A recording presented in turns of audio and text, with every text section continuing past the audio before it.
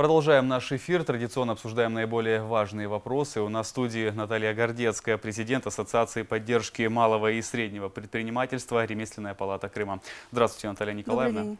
Итак, в Крыму на один населенный пункт станет больше. Да, планируют открыть так называемый город мастеров. Что он будет собой представлять?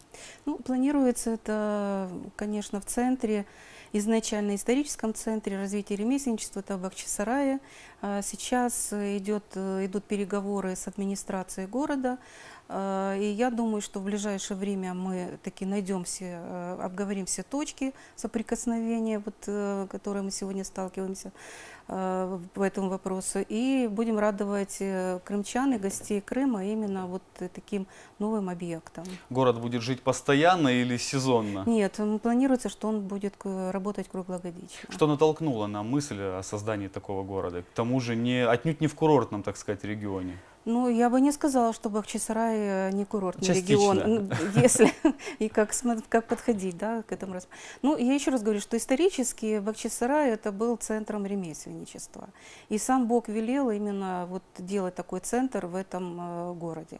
А второе – это понимание, поддержка а, со стороны органов э, местного самоуправления и регус-администрации.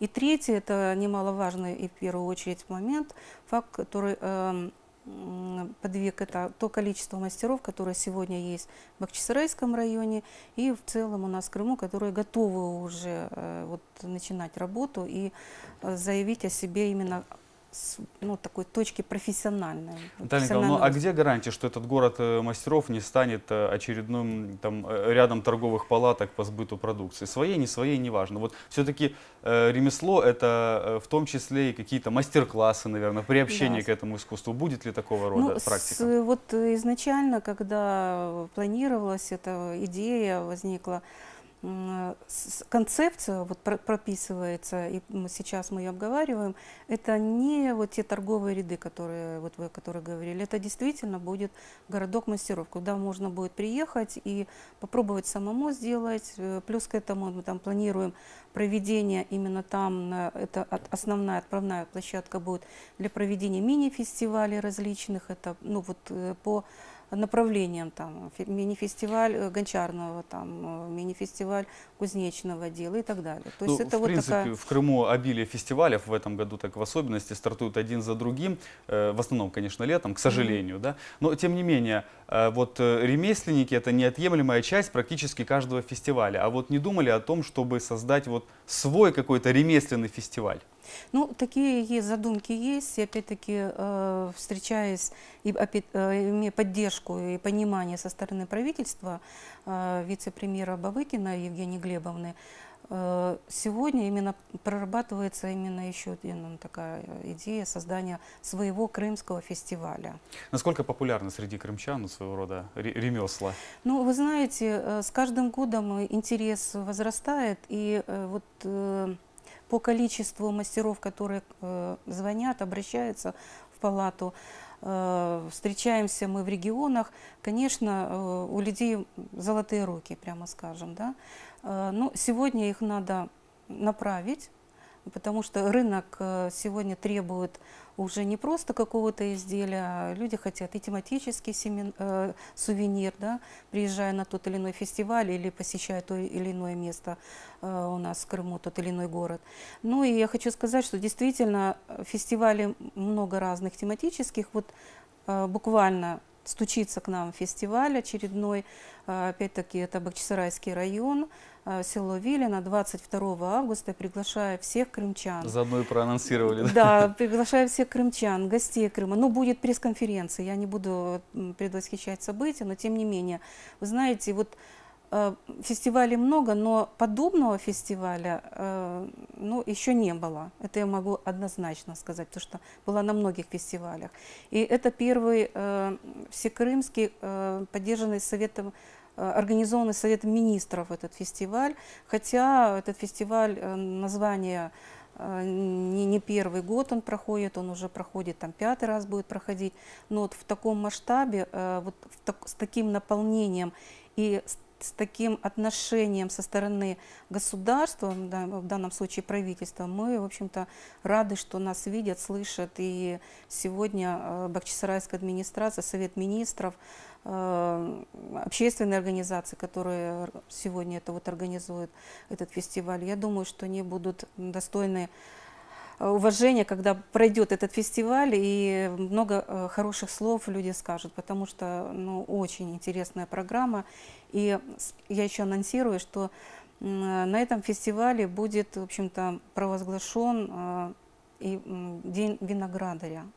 Сегодня это одна То из есть он тех еще и тематический о, будет, да, да, он своего тематический, да, он действительно тематический. Это не просто фестиваль вина будет, э, фестиваль «Золотая гроздь», но это будет еще и очень много интересных и сопутствующих там мероприятий, и предприятий, которые представляют эту отрасль, да. А, Кроме выставочного, там еще будет и, конференция проходить, поэтому я приглашаю всех на Наталья фестиваль. Николаевна, вот возвращаясь все-таки в плоскость ремесленного дела, да, э, ремесло это не только творчество, это в первую очередь вид деятельности, да, Совершенно а вот верно, да. если трактовать по налоговому законодательству, да, все-таки они должны платить какие-то налоги. Вот э, изменилось ли э, законодательство в, в этой части и в- каким образом? Ну, в данном случае на сегодняшний день мы работаем в рамках э, российского э, законодательного поля. И опять-таки преференции в Крыму, те, которые сегодня есть для малого бизнеса, э, ну, это можно взять патент.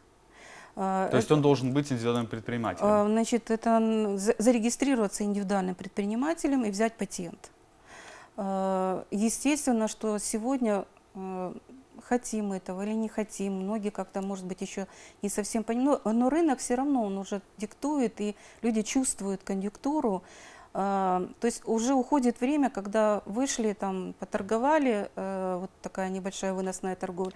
Но опять-таки мы говорим о крымском сувенире нашем, о наших крымских мастерах. И преференции мы сегодня видим, что у нас есть такие преференции для наших мастеров. Это и в Патории, это в других регионах, где администрация идет навстречу, дается площадки Наталья для ну продаж. если смотреть э, правде в глаза, да, то все-таки зачастую людям проще где-то втихую продать свою продукцию, нежели платить налоги, да, э, и все, легально оформлять. Вот какие плюсы конкретно получают э, те же ремесленники от э, законного, от законной реализации своих продуктов? Вот расширяется ли рынок сбыта в том числе? Ну, опять-таки, я еще раз хотела обратить внимание, что если для меня это основной вид деятельности, и я хочу, чтобы моя продукция позиционировалась и была представлена на рынке, не только на крымском рынке, но и на том же Московской области. А, Мы имеем уже опыт работы с предприятиями, и торговыми организациями. Э, Вот небольшая первая партия у нас сувениров, которая прошла, э, была на московском подворье, да, в Московской области, показала, насколько интересен и востребован крымский То есть сувенир пользуется популярностью? пользуется популярностью. Но, опять-таки, предприниматель, который закупает, он закупает э, не у физического лица, он должен га- гарантировать, да, э, если там какие-то вопросы, там возврата или еще что-то, с кем он будет иметь дело. Дальше. Э, У нас есть предложение с Ленинграда, э, торговой организации. Но э, Санкт-Петербург тоже сразу сказал, ребята, мы готовы, но это должен быть или индивидуальный предприниматель продукция со штрих-кодом, потому что мы должны официально торговать и представлять эту продукцию. А Сегодня мы ищем разные пути, э, возможности, да, и э, у нас есть э, один из предпринимателей в Крыму, у, него, у нее очень интересный сувенирный магазин, и вот через этот сувенирный магазин наши мастера индивидуальные предприниматели официально имеют свою полку, где они представляют свою продукцию. Поверьте, этот магазин мы начали работать еще в прошлом году весной. Вот уже больше года работаем. И, и жители э, этого города, причем это курортный город, э, и гости То есть с суть большим понятна. Хочешь большим зарабатывать, большим работай честно. да? да, с, большим Наталья удовольствием благодарю за посещаю. беседу. Вам успехов и, в первую очередь, успешного проведения фестиваля. У нас на этом Спасибо. все, но мы не прощаемся. Оставайтесь с Первым Крымским.